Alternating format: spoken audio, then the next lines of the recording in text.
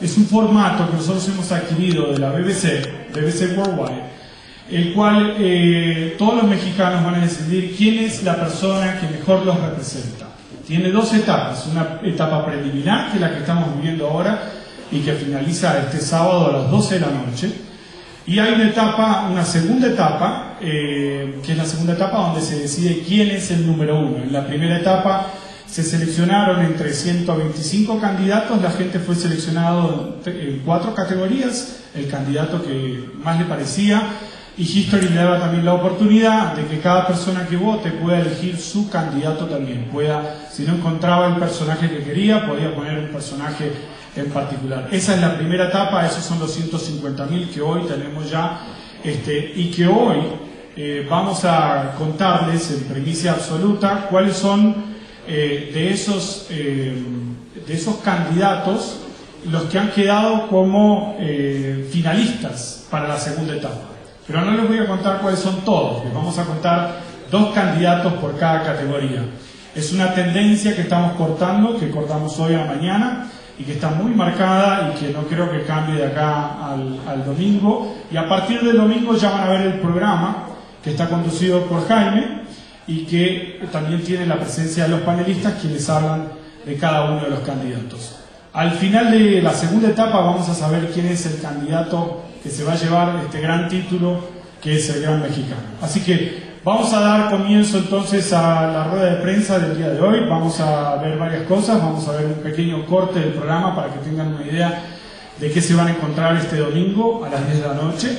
Eh, por supuesto van a saber hoy eh, el 50% de los candidatos que quedaron este, de esos 125. Estos eh, van, a, van, a, tener hoy 10 nombres que son los que están marcando más tendencia hoy en, nuestra, en la votación.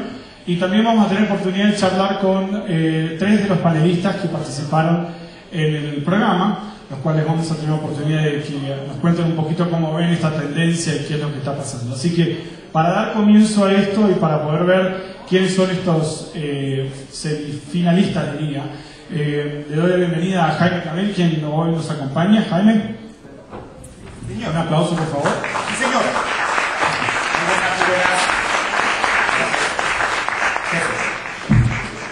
mis quincenas. Exactamente. ¿Cómo está usted? Muy bien, muy bien.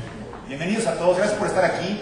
Como lo he manifestado en, la rueda de prensa que hicimos en el Press Junket que se hizo en otro hotel, eh, no tan bonito como este, claro. Eh, es un privilegio y un honor estar trabajando para History Channel. History Channel tiene eh, la fama de ser un canal que es muy fidedigno y siempre busca la verdad en todos los reportajes que hace. Para mí es un privilegio, un honor que haya pensado en mí. Gracias, César gracias al canal, a History. Y pues sí, como dice César, efectivamente se han manifestado más de 150 mil mexicanos en la página de tuhistory.com y han votado ya por quien ellos creen que será el gran mexicano.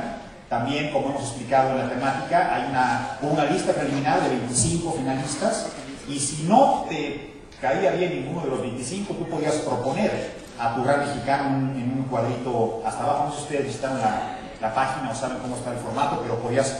Yo me puse, por cierto, en todas, voté Vamos a hablar, vamos a hablar de eso. Voté todos los días y me puse yo.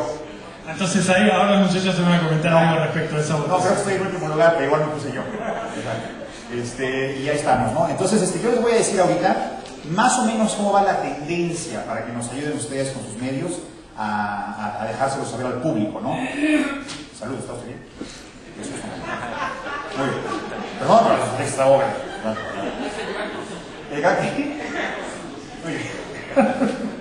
Este, bueno, tenemos cuatro panelistas maravillosos. Uno de ellos eh, no pudo estar con nosotros, el historiador Lorenzo Meyer, pero eh, más adelante voy a presentarles al resto de los panelistas que son personas muy coloridas, por decirlo menos. Entonces, en la primera categoría de historia y política del siglo XIX están como finalistas, y no son todos, faltan, faltan dos o tres más, ¿no? Faltan dos más, pero les puedo decir que en Historia y Política del siglo XIX, los finalistas son Miguel Hidalgo y Benito Juárez. Que ver esto.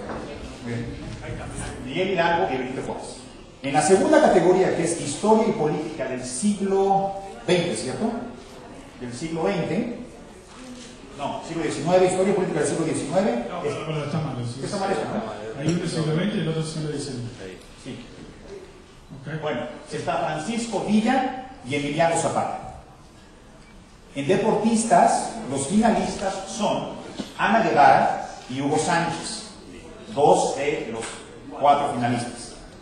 En artes, ciencias y humanidades está Diego Rivera y Frida Kahlo como parte de los finalistas. Y en artes populares y periodismo está María Félix y Vicente Fernández. Son dos de los cuatro finalistas y el primer programa lo vamos a ver este domingo 26, si no me equivoco, a las 10 de la noche en Solo por History. Gracias. Un aplauso, bueno, aplaudir si quiere, fue una voz muy bonita. Gracias. No, no, no, no. Buenos días. Muy bien. Y por último, José Ramón Fernández. Un fuerte aplauso para él también, por favor. Don, don José Ramón. ¿Por qué? Yo, Jaime. Así me trae el programa, todo el programa. Este, pues bienvenidos a, es como una, es como un mini programa ahorita para los compañeros de prensa. ¿Qué, ¿Qué opinan de estos dos, bueno, son cuatro finalistas, pero aquí nada más vamos a mostrarles a la, a la prensa una tendencia de los dos finalistas para cada categoría? ¿Qué opinan, por ejemplo, de historia y política del siglo XIX? Está Miguel Hidalgo y Benito Juárez. Bien, Yo, muy bien. yo le auguro a... El público está bien. Suerte. Muy bien, sabe. Mientras no se Luis Miguel, todo está bien. Ah, oye, que contarles algunas anécdotas, ¿eh? En las votaciones iba en tercer lugar Luis Y Miguel. en cuarto lugar, Jaime Camilo. Sí, sí, cien mil tuiteros, ¿no? Sí, no. Eres el no va a decir, Bueno, eso está Oye, denunciado. lo vas a decir de broma, el cuarto, el cuarto Cuauhtémoc Blanco, ¿eh? No. Te voy a traer un Ah, una huelga de hambre en Zócalo sin gana. No, pero la verdad es que... no, no puede ser, no puede ser. Lo que opina la gente de quien puede ser el gran mexicano es maravilloso. De estas entrevistas, no encuestas de aquí en la calle, hubo quien nombró a María Sabina. Imagínense qué bonito. O sea, para lo que tenemos cada quien en nuestra cabeza, cada cabeza. Bueno, hubo, hubo que nombró a Vicente Fox, pues así pasa, ¿no? Bueno, bueno, A compañero, Porfirio Díaz va bien rankeado, eso es. Porfirio Díaz. No vota porque no agarra el internet, porque ves que están votando de determinada edad. No, la abuelita era traficante de armas, que éramos Ah, sí, claro. Bueno, Era traficante de armas en la revolución. Sí,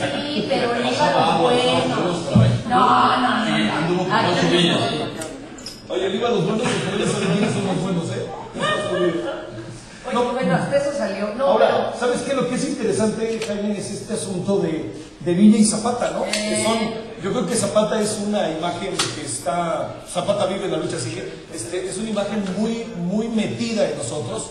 Lo de Villa es polémico, ¿no? Sí. O sea, porque Oye. Es el único que le gana a los gringos, ¿Sabes ¿no? qué faltó? No, le declaró la guerra a los gringos, pero salió corriendo rápido. Ay, sí dijo que me Dijo deporten. No como la sino compañeros. que me deporten. Oye, pero ¿sabes qué? Nos faltó don Benjamín Argumedo.